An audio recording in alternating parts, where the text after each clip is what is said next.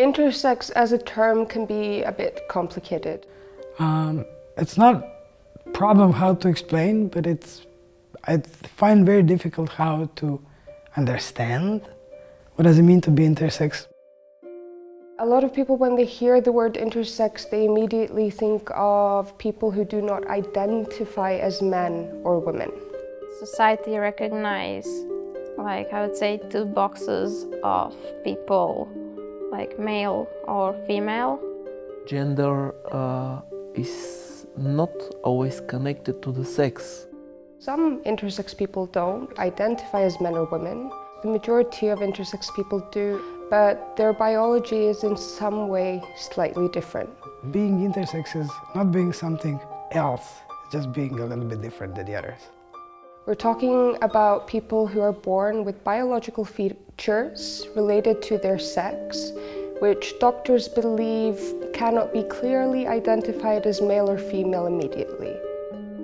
There is no strict definition, there is no clear definition about what is what is man and what is woman. There is no such definition.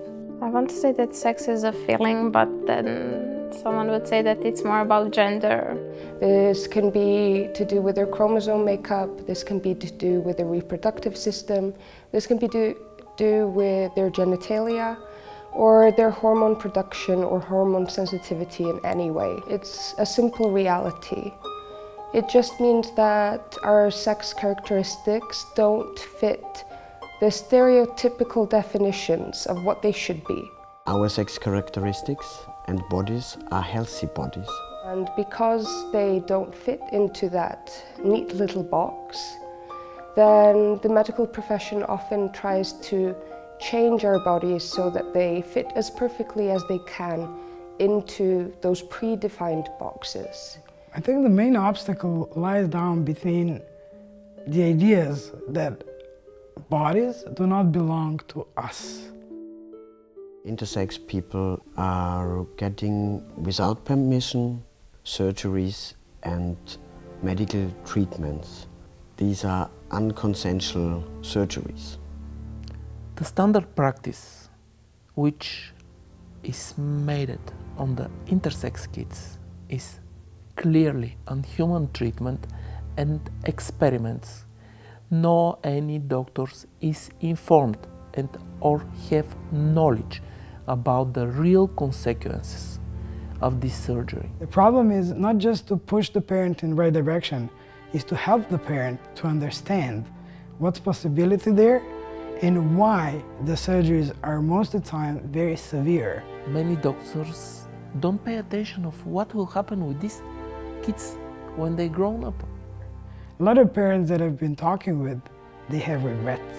Changing focus the, from the medical perspective to human perspective, to human rights perspective, is definitely mind changing, even for the doctors.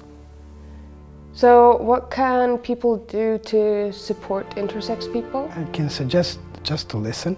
I think that could be the starting point. Discuss the issues that we face in a respectful and supportive way.